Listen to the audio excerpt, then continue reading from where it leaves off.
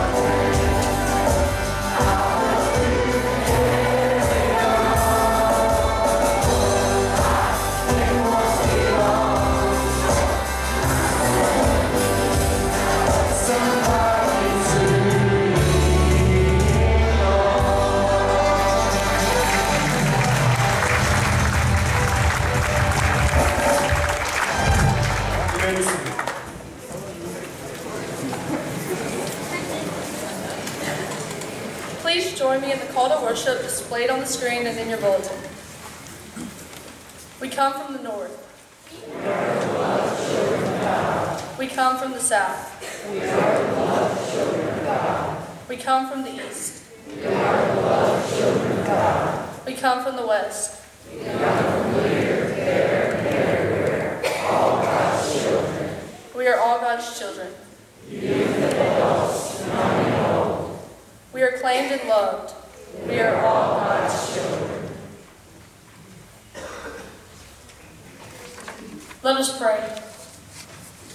Dear Lord, be present with us on this special day that our church's youth come together with open hearts and hands to serve you. As we listen to your word, empower us with your love and grace. Lead and guide us with your teachings and truths so that we may glorify you in all that we do. We pray in the name of Jesus Christ, our Savior. Amen. As we sing the next song, you may remain seated. Listen and reflect on God's amazing grace. If you would like, you are welcome to sing along.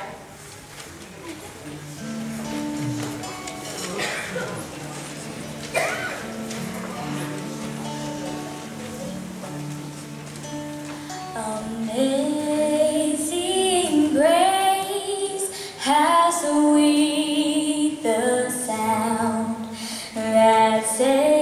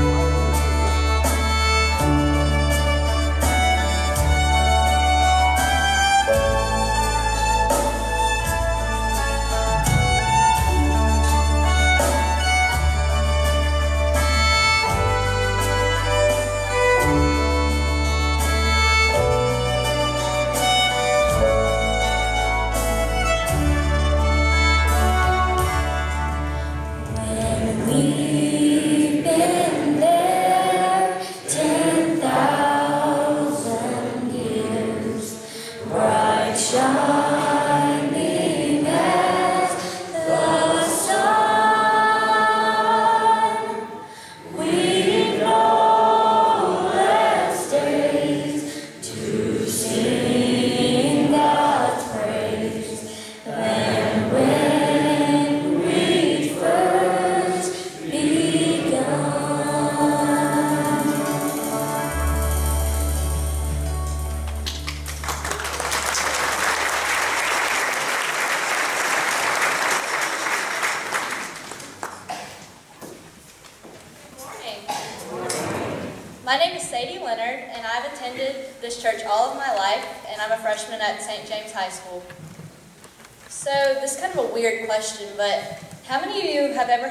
why God moment? Such as, why God did you put me in this situation, or why God did you let these things happen? I figured out it's okay to have these why God questions because it gives us a chance to dig deeper in His Word and put more focus on Him. I know that throughout my life I've had why God questions, but I turn to the verse Jeremiah 29:11, which reads, "For I know the plans I have for you, declares the Lord, plans to prosper you and not to harm you, plans to give you hope and a future." This is my go-to verse in any situation because no matter what, it reminds me that God has great plans for me and I just have to trust in Him to fulfill them. Now, let us continue to worship God together. Please stand as we sing Trading My Sorrows. We have some motions. It's real simple though. When we sing the part, I'm laying them down for the joy of the Lord. So that's it. It's I'm laying them down for the joy of the Lord. All right. One, two, three, four.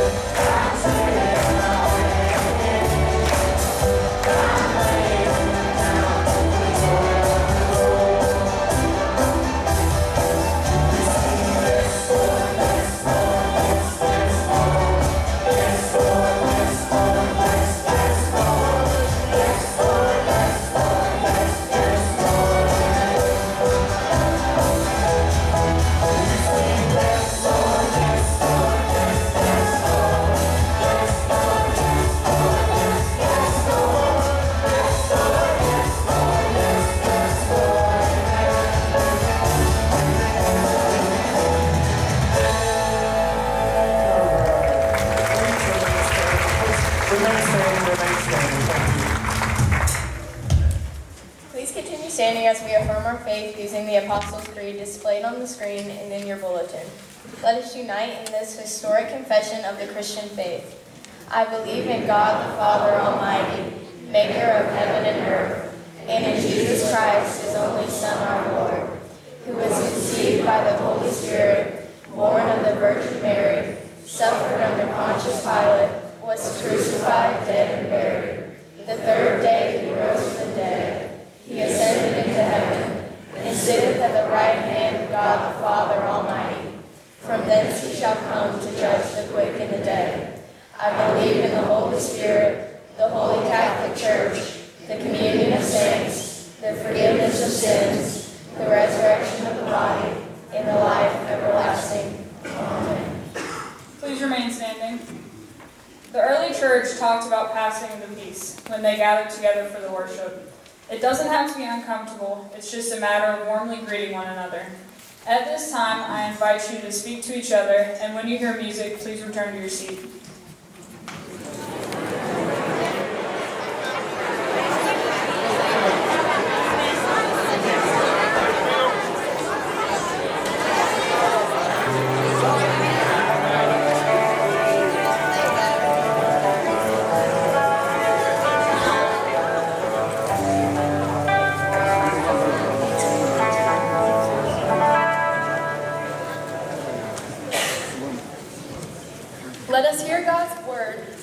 To us from Romans chapter 12, verses 1 through 2 and 9 through 10.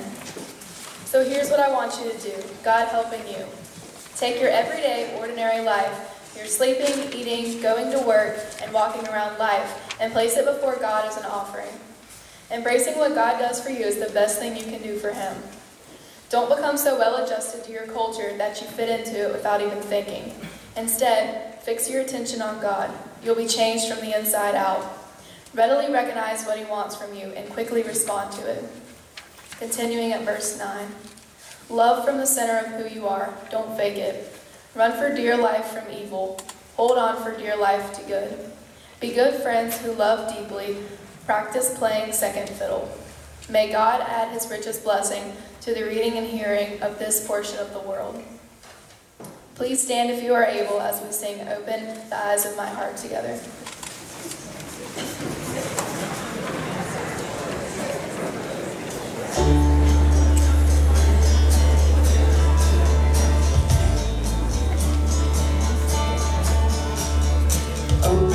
Of my heart,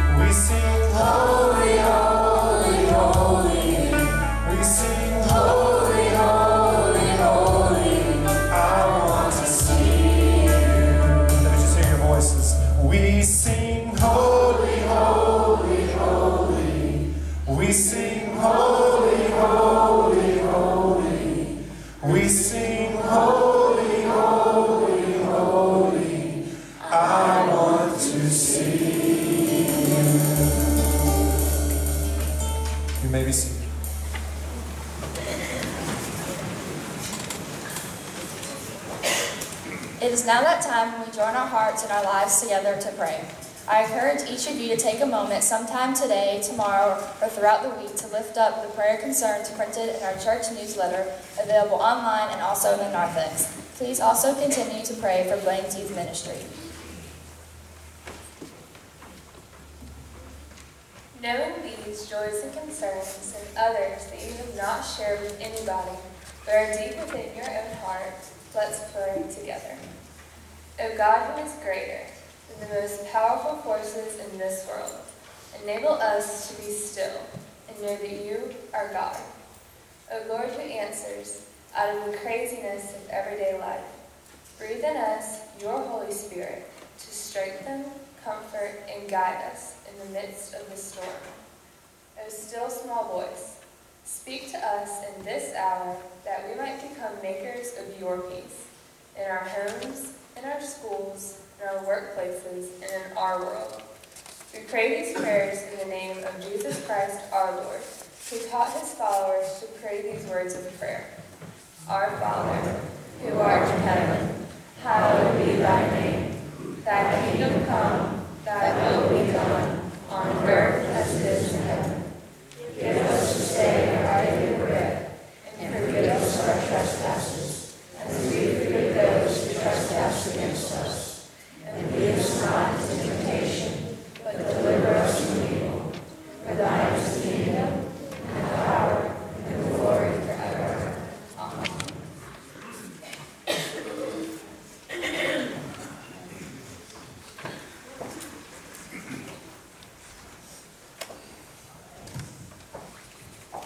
The offering is a symbol of us sharing, sharing a portion of what God has greatly blessed us with. 2 Corinthians chapter 9, verses 6 through 7 states, Remember this saying, a few seeds make a small harvest, but a lot of seeds make a big harvest. Each of you must make up your own mind about how much to give. But don't feel that you must give. Don't feel sorry that you must give, and don't feel that you are forced to give. God loves people who love to give. During the offertory, we'll be showing a video about our experience at Salkehatchie. Salkehatchie is a summer mission trip for high school and college students where we improve the homes of some very needy families. Belin youth attend Rivertown, Salkehatchie, and Conway, and Summerville, Salkehatchie, and Summerville, South Carolina. We also host Creekfront Salkehatchie here at Belin. The video will also feature photos from our middle school mission trip to Charlotte, North Carolina. Each summer, our middle schoolers serve at Operation Christmas Child's main processing center, serve at a food bank, and also do yard work for those in need. Let us worship God this morning with our offering. Little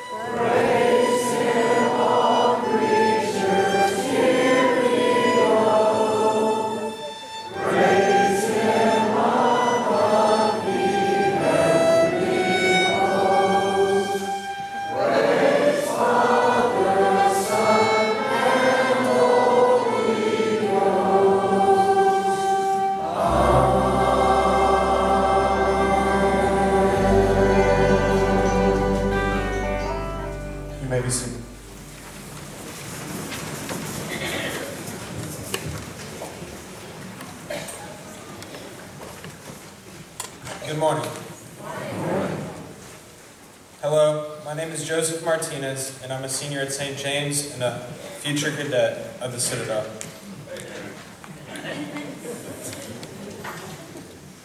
Before my relationship with Christ, I can't say that I was insecure, miserable, or turned to any impure ways of living.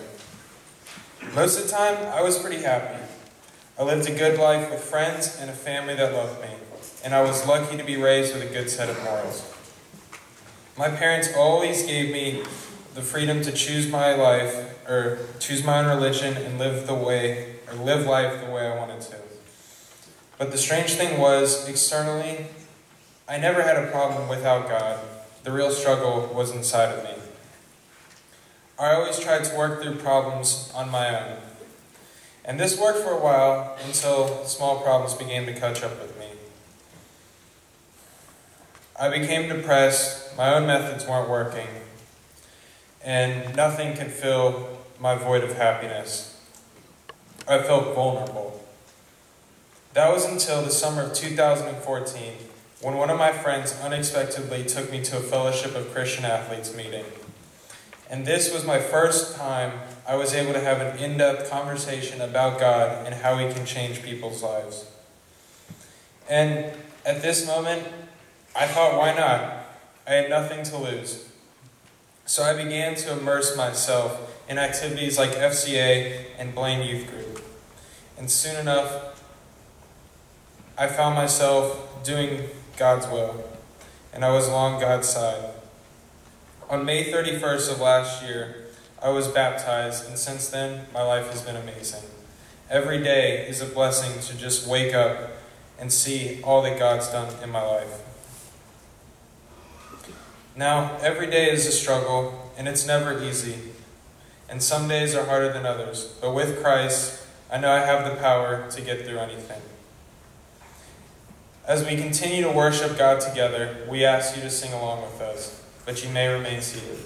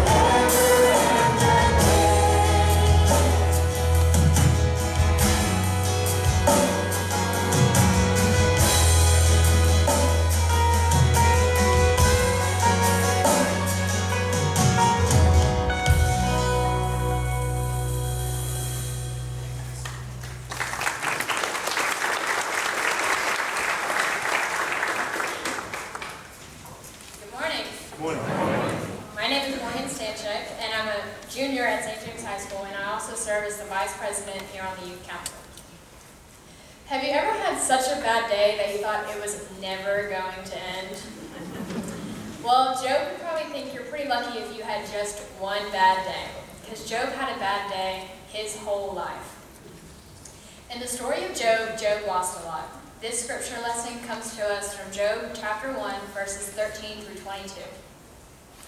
Job's sons and daughters were having a feast in the home of his oldest son.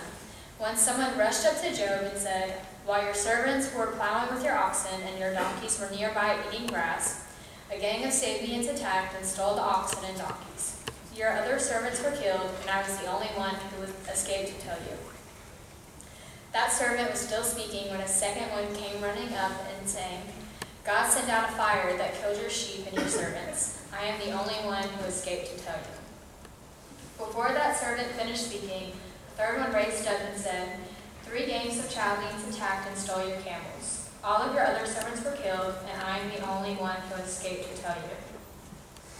That servant was still speaking when a fourth one dashed up and said, Your children were having a feast and drinking wine at the home of your oldest son, when suddenly a windstorm from the desert blew the house down, crushing all of your children. I am the only one who escaped to tell you. When Job heard this, he tore his clothes and shaved his head because of his great sorrow. He knelt on the ground, then worshipped God and said, We bring nothing at birth. We take nothing with us at death. The Lord alone gives and takes. Praise the name of the Lord. But here's the best part. In spite of everything, Job did not sin or accuse God of wrongdoing. The word of God for the people of God. Job lost family, fortune, fitness, and friends.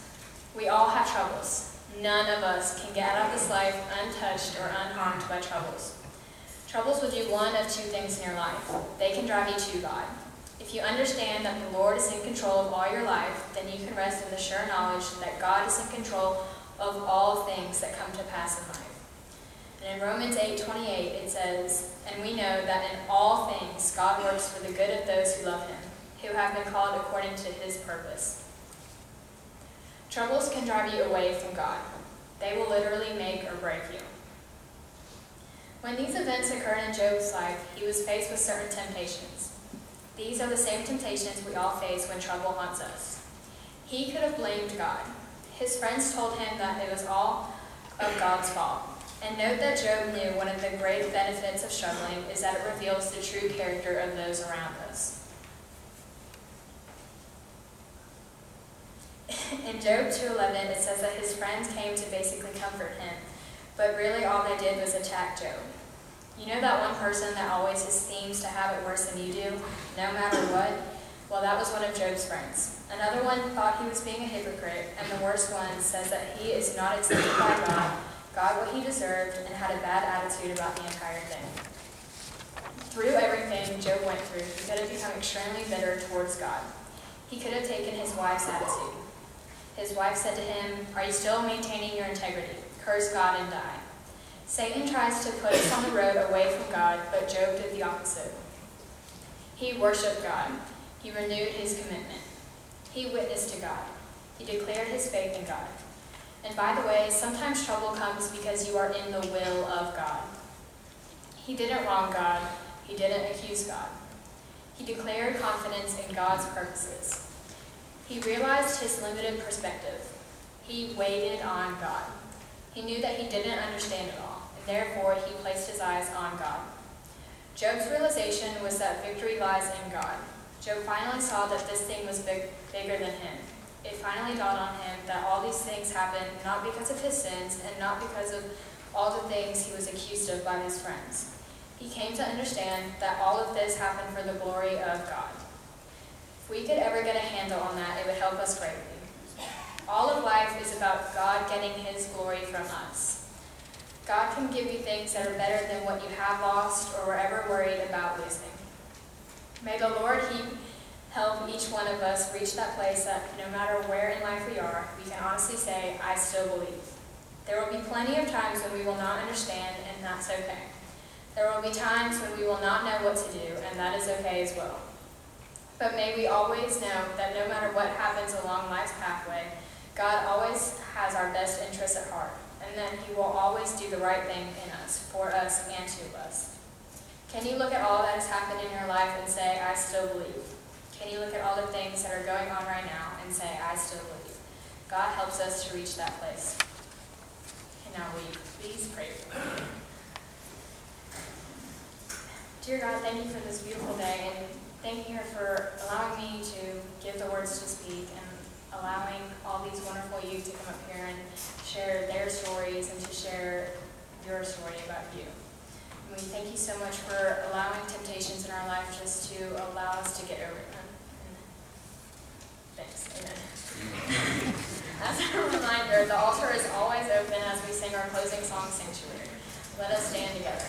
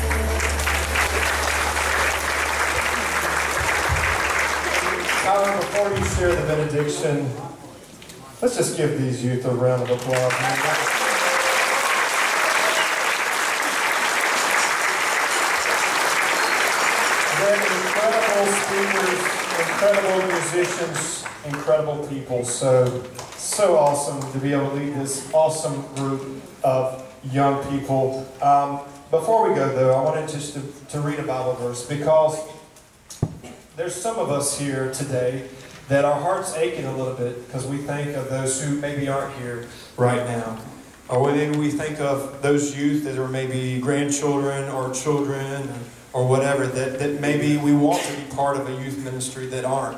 This will be a time today, uh, after we depart, to lift up those children, grandchildren in prayer. And, uh, and, and to know that there's a place for them in, in our youth ministry or any youth ministry in the area. I've seen what it does to change the lives of our young people through, through Salkehatchie missions, through the middle school mission trip, through, through youth group, through, through serving in the youth Sunday services, through serving at Blessing at the Inlet, through serving in different ways. It, it's just amazing to see the transition over time, how it changes their life for eternity. And so I got this verse I want to read real quick. It's from Galatians chapter 6, verses 9 through 10. It's from a paraphrase of the Bible called The Message.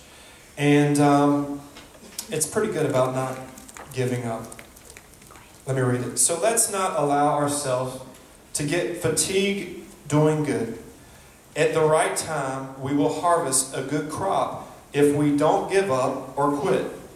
Right now, therefore, every time we get a chance, let us work for the benefit of all, starting with the people closest to us in the community of faith. So today, that's your challenge as you leave here, is to lift those up in prayer who aren't part of our community, whether they're young or old, and pray that God will start to speak to them and that, that He will just reveal Himself to them, that they'll open their hearts to Him, and their lives will be changed for eternity.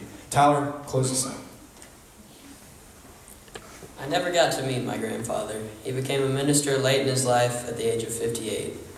Having spent 23 years in the military, he tended to like discipline and tradition. My grandmother sent me a copy of the benediction he always spoke at the end of his church services, and I'd like to share it with you. Please join me in lifting your hands towards heaven.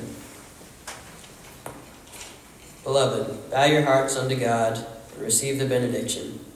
The Lord bless you and keep you. The Lord cause his face to shine upon you and be gracious unto you. The Lord lift up the light of his countenance upon you and give you his peace. In the name of the Father, and of the Son, and of the Holy Spirit. Amen.